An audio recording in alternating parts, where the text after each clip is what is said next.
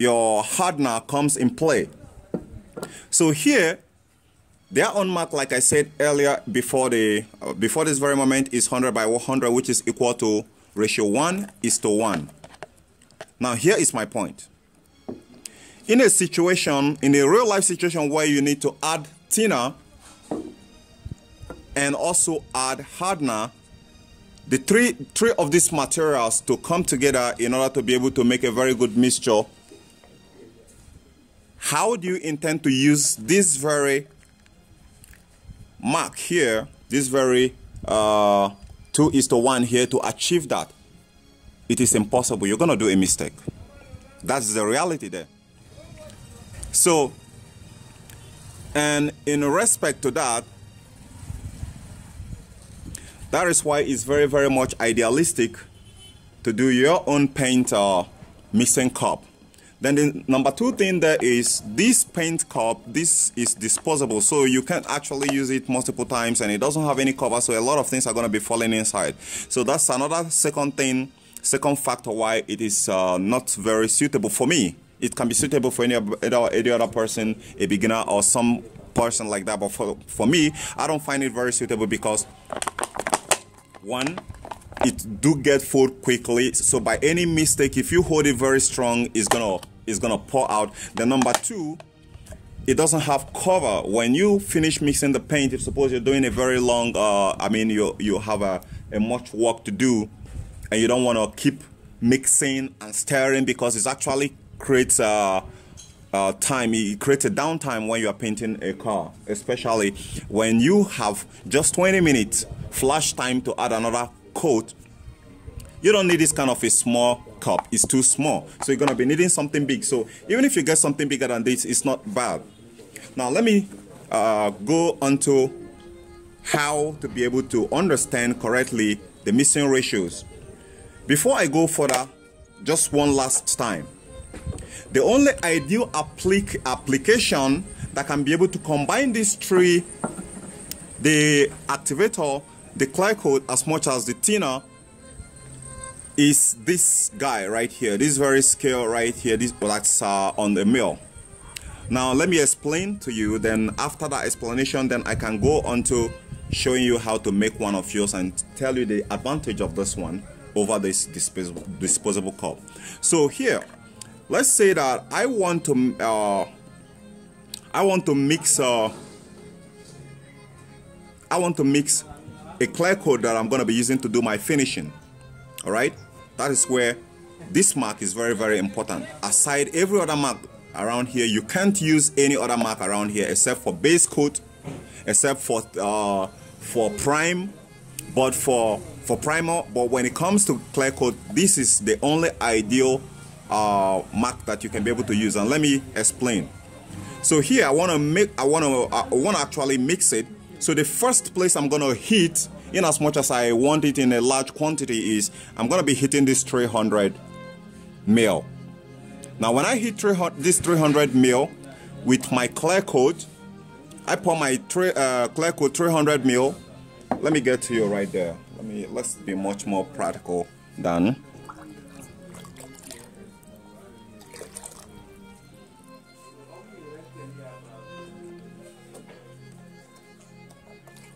okay let's just uh, let me use water to explain what I'm saying here so that it can be very very understanding. Okay you can see right here but here we still have some little bit more. You have to keep this on a very flat surface to be able to take the measurement correctly. I can't keep my there is no way I can be able to keep my camera right here without uh, creating some little interference. So now the area where this cup hits it's bent though all right? So if I keep it on a flat surface let's keep it on a flat surface and see where it is. So it is it is a little bit higher than the normal that is supposed to be. That's why it is not idealistic to hold it by hands while measuring it because it's going to give you an error scale. So when you put it on the ground like this let me reduce a little bit more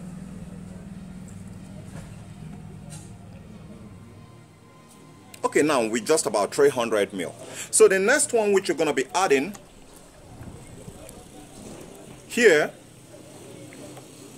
That's why which I say that it is not idealistic to use the other side. Let's say the next one we're going to be adding is thinner. So I go up. I'm going to add the thinner and take it all the way to 450.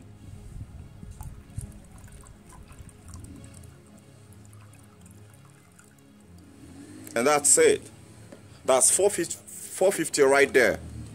And when you get to this 450, I know that the next one that is going to be remaining for me to add into this is my activator. So I'm going to get my activator. And I add it up to 600 mil right here and it's done. All right. So at this level that it is right now, I cannot take something and stir it and stir it very well.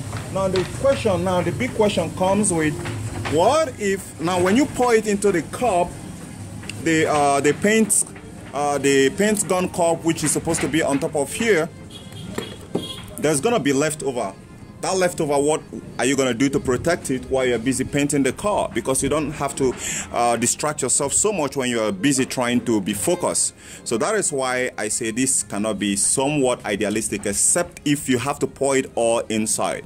But if you have some left over there you might while concentrating hit it and it will fall or even splash on the car. So that's why i say sometimes the disposable cup is not idealistic and here again, this is the only scale that can be able to use, we can be able to use to measure the clear coat correctly because this is the right uh, measurement of the clear coat, the thinner as much as the hardener. Now let me get this water off. Okay, why uh, why uh, using this uh, on how to use this very cup here, on how to use the cup to actually create your own uh, mixing uh, material.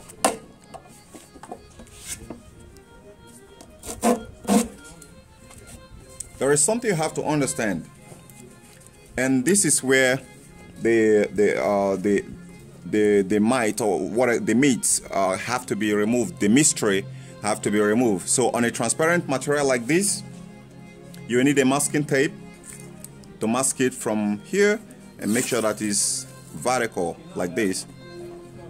And you cut.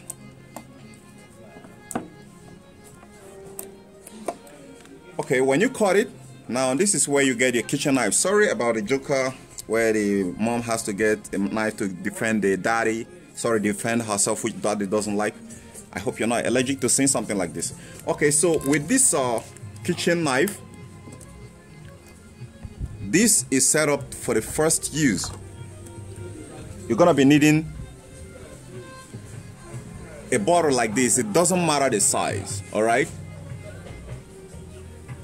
In order for you to cut it to make the mixing cup, which is supposed to be using to mix any paint material. Now I'm going to get that, get into that real quick for a while. Now, one thing I need you to understand here is there is a math which I did here before, which I, I want to do again.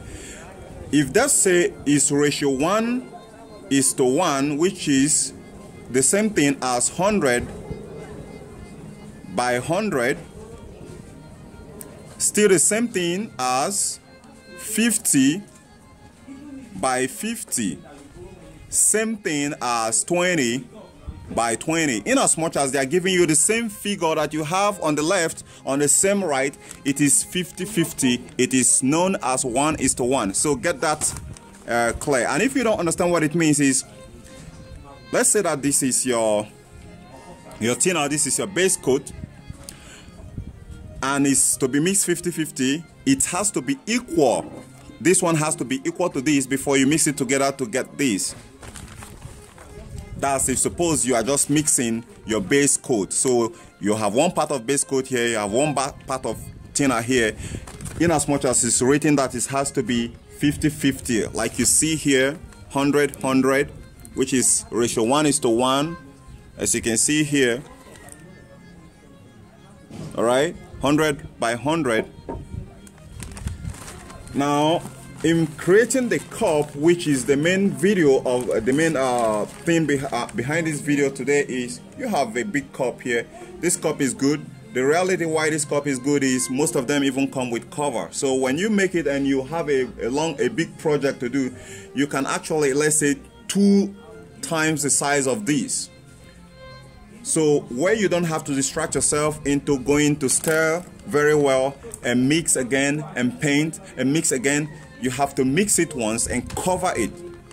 All right? When you mix it once and cover it you're not gonna leave it for the next day in as much as you want to use it that same day is okay. For that very moment it's okay. So all we're trying to do is to save you time so you, you don't keep going back and forth and coming to mix and mix and mix. So if you have up to three of these that's gonna be fine. So let's say they are big uh, like uh, two time uh, two times the size of this. You have it in three forms. You have your primer mixed and you cover it. You have your base coat mixed. You cover it up.